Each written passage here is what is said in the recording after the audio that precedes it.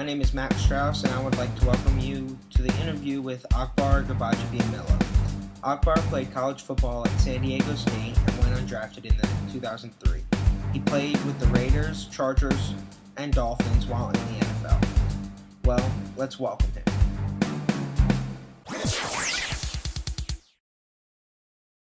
Why do you make it important to connect to your fans through Twitter? I think Twitter is a great platform. I think to reach out to the masses.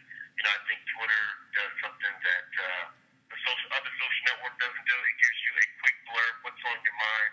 I think oftentimes people don't want to, especially in this age, engage in full-on conversation, but just kind of get a pulse and a beat of uh, of what I'm thinking. And I think that uh, again, Twitter is just a, a great platform just to give people a uh, just a tidbit of what I'm thinking. Uh, who was your childhood star and why? Oh, oh boy. Well, I think there's a couple of a childhood that I grew up um, liking Muhammad Ali, Michael Jackson, and um, Magic Johnson. I think all three of them they epitomize greatness. It's what I've always for, and I think all of those have a unique, a unique twist and tell to them. Uh, you look at Magic Johnson, one of the greatest still uh, court generals ever to play the game, and you look at what he's done after basketball. Um, look at what he did in 1991 when he was diagnosed with the HIV virus, um, and just what you know how he took that head on. And you talk about Muhammad Ali, how he took on standing up against the Vietnam War, and then of course you go to uh, Michael Jackson, who was just of course a pop sensation, and you know took entertainment to a whole nother level, uh, being the first African American to, to feature on MTV, those type of things. So they were all, you know, they're all pioneers and yet exceptionally great at the, the particular gift that God blessed them with. What was your uh, favorite NFL team growing up? Uh, you know, I didn't play, I didn't watch NFL uh, growing up. I was actually a basketball player, so I'm a Los Angeles Lakers fan, so I didn't watch uh, a lot of football. I did like the Miami Dolphins because of Dan Marino, but I wouldn't say I was a fan. Okay. Um, but as I started to know a little bit more, it was the Raiders. Did you see any live NFL games growing up? Uh, yes, my first NFL game was a, a Raider game at the Coliseum. I couldn't tell you who they were playing. I don't remember. If you could meet anyone in the world, alive or dead, that you haven't met before, who would it be and why? Michael Jackson. He's the one person. In fact, funny story is I bought tickets or was scheduled to go see him in London um, at the O2 Arena uh, just the two weeks prior. You know, I was scheduled to leave until I found out the date that he died. I still ended up going out there because I bought the plane tickets. But, um, but yeah, that was uh, the one person I was looking forward to meet. So it'd be Michael Jackson. Um, all right, so now we're going to talk about like the football career. So, in high school, you played basketball, and what made you decide to focus on football over basketball? Well, uh, it wasn't that I focused on football, but uh, my brother, uh, um, was a standout in high school, and everybody thought that, you know, I could, with the same type of body frame, I could succeed as well in football, so they thought that I should give it a try. So I had a lot of people pushing me to play it. Didn't want to play it because I, I wanted to go to the NBA. I gave it a try, had some success at it, and after that, uh, really never just looked back. I had instant success having never really played or understood the game. And I just continued to develop my game from there. What number did you wear in high school? So rule number 30, In college, what'd you wear? number 94. Well, because in uh, college football, you, there's a certain number that you have to wear as a defensive lineman. So certain numbers are legal, and other numbers are illegal. So 30 would have been illegal. And so I chose 94 because it was a number away from my brother who wore number 93 in college. Okay. In the NFL, you didn't switch, did you? Yeah, I wore number 98 my rookie year. And because uh, a veteran guy had number 94, and he was going to charge me like $100,000, something like that, to buy his jersey. So I just waited my turn and waited for second year to uh, get the jersey number. Back to college football, though. What was your favorite memory? What What was your favorite memory at San Diego State? I'd say the entire, my entire college experience was my favorite memory. I still reminisce about the entire experience. Probably not just one situation, but the entire experience. 'cause It was new. It was a culture shock coming from uh, inner city Los Angeles to um, to San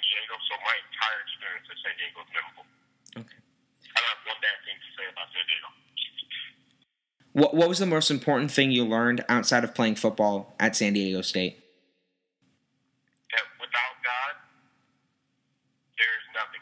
So um, I, I realized outside of football that it was only because of God's grace that I was able to play, that I was living, that um, I could do anything. So I think the power of God would be the thing that I learned about the most outside of football. When When were you expecting to get drafted, and what was your whole draft day experience like? Emotional. Um, I was expected to be a, a late rounder, uh, fell into free agency, and so of course I was disappointed because of you know the whole drafting process. But um, it, it ended up working out well though. So and then uh, Al Davis called and said that uh, how about silver and black, and I said, heck yeah.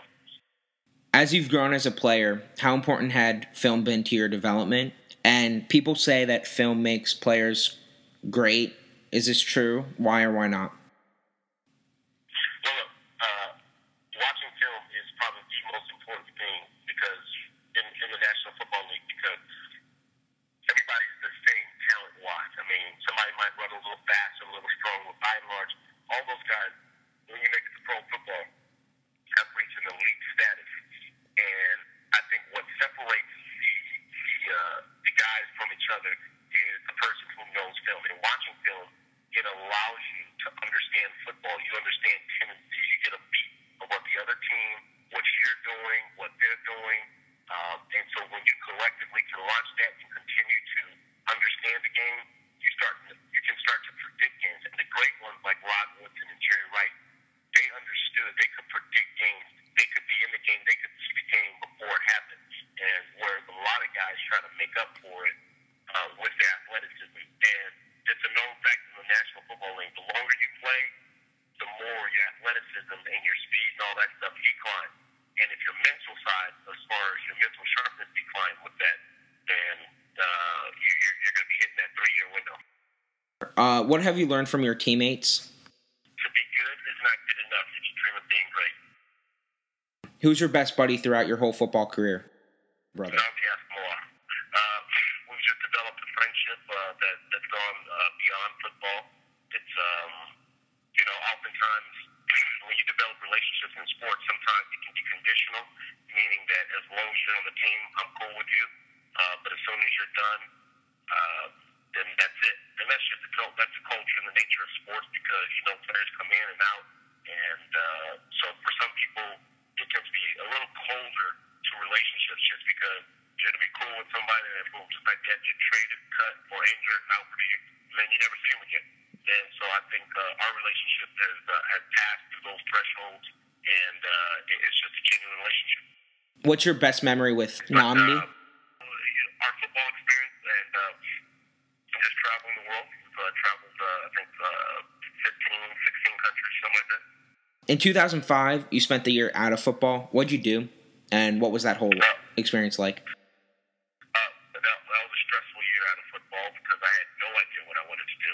Um, but it was in that year, that moment, that I realized that uh, I got an opportunity to play football again, um, I would start to position myself for my ultimate dream, which was to, uh, after football, was to, to broadcast. And so I spent 2005 spending a ton of money didn't have any other income coming in.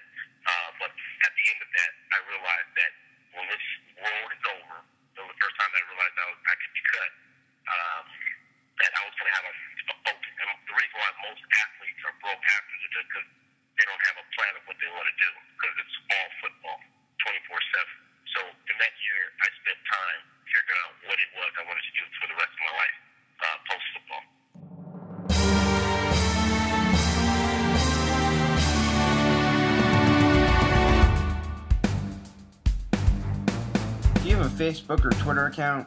If so, go to twitter.com slash prointerviews or facebook.com slash prointerviews and follow me there. What is it like to have your brother play in the NFL? Oh, it exciting. Exciting to watch him play. Um, I, I grew uh, a tremendous amount of uh, inspiration to watch him play. To know somebody who achieved, I mean, the absolute greatness. I talked about my infatuation with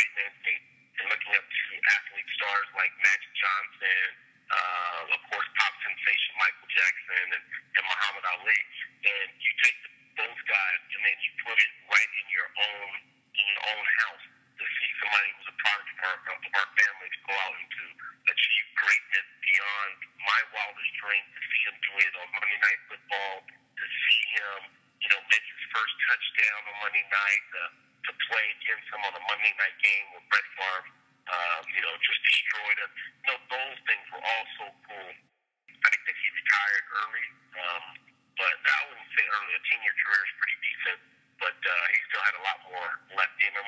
Uh, would love to have seen him uh, play, you know, at least three or four more years, but he decided that he wanted to retire. So, but uh, playing with him at San Diego State was great. Playing against him in the pros, uh, once with the Chargers, once with the Raiders, excellent experience. You, there's nothing that will ever, you know, uh, take, those moments from me. I, I'll remember that forever. Did you ever get a nickname throughout your career?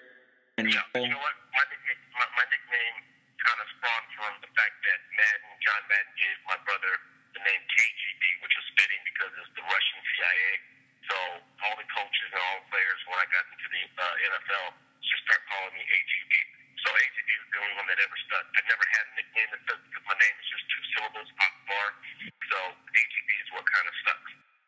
Do you have a favorite charity? Favorite charity would probably be Orphans and Widows in Need. It's actually a part of the Asomugha Foundation, and uh, and Owens Foundation stands for Orphan Widows in Need, and uh, I'm a board member now on that uh, on that foundation, and just it's taking care of those uh, who, who don't have less. You know, the Bible, you know, commands us to take care of the, the orphans and, and the widows uh, that are out there in the world, and so um, it's just a tremendous thing they have going as far as looking out to uh, the orphans and widows in Nigeria and in all other uh, parts of the, of the continent of Africa.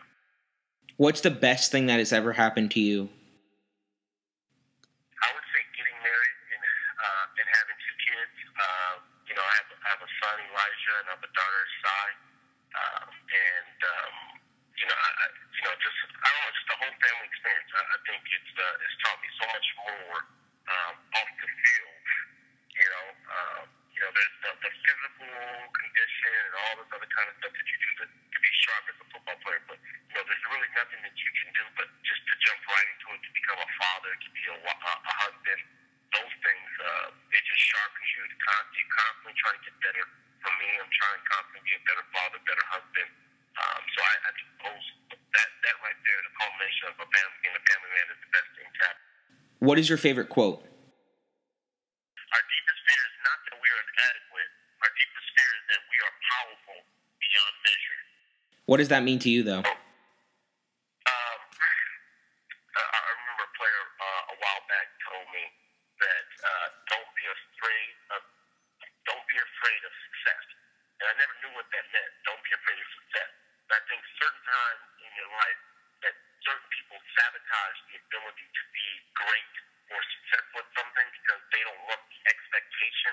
And so I, I think that, that that quote really resonates with me when it says our deepest fear is not that we're inadequate. It's not that we really believe that we, we can't accomplish or do things, but it's that we're going to be powerful beyond measure. That's an expectation that is going to be with you for the rest of your life. If I labeled you the smartest kid in the world, some people wouldn't want that. They would just think they would deflect that. But no, no, no, no. There's other people that are smarter than me because they don't want to bear the responsibility or the greatness or the success of being the best or the, the smartest, so on and so forth. And you see it every day in life. Go up to somebody and say, hey, look, you're the fastest kid I've ever seen, or you're the smartest kid I've ever seen, or you're the best looking kid. And most of the time, a person, they'll deflect and say, no, no, no, there, there are others that are beautiful. So they don't want to get, they don't want to hold on to that expectation. Don't be afraid of failure. Sums that all up. I'm actually hoping to major in communications for college. Like, why did you choose communications? Well, I'll tell you this. Uh, God has given everybody a gift, and I realized that the gift that God has given me was to, to be able to speak. And so I knew immediately I was in touch with that, and I said, that's what I want to do for the rest of my life. That's what I want to do for a living. And it was only fitting that um, that right when I was done, that an opportunity to call football games where I spent the last 12 years doing college and high school and pros, that I would go right into talking about something else familiar with.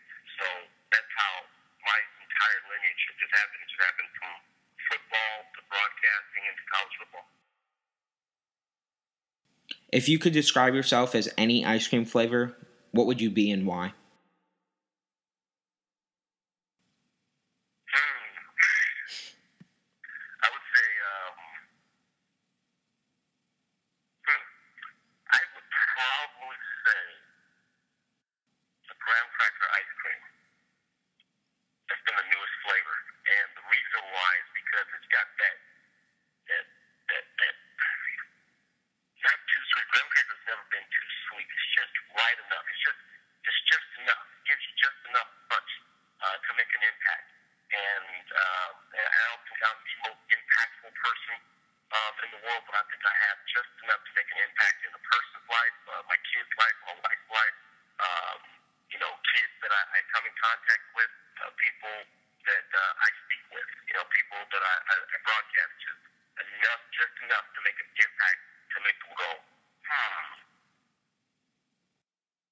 what's it like talking at the rookie symposium?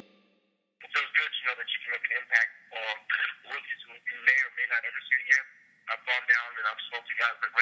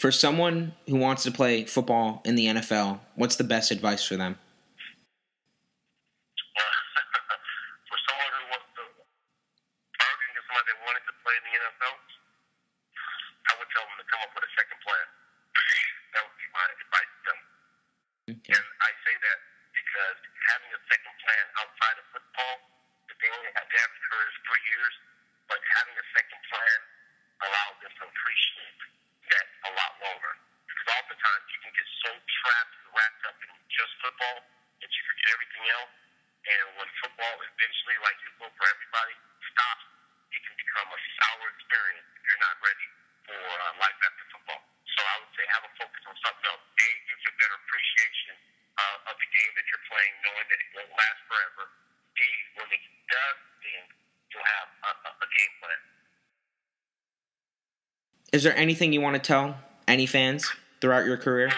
that I haven't asked or talked about? If I could tell, all my fans one thing, I would tell my fans that God is real. That's I tell them. God is real. God is good. That's it. Thanks a lot.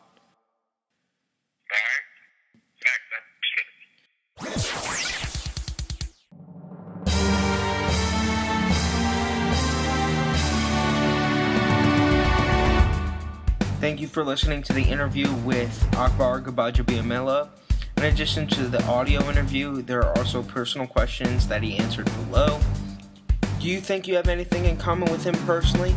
If so, scroll down below to read his answers. Thanks again for listening.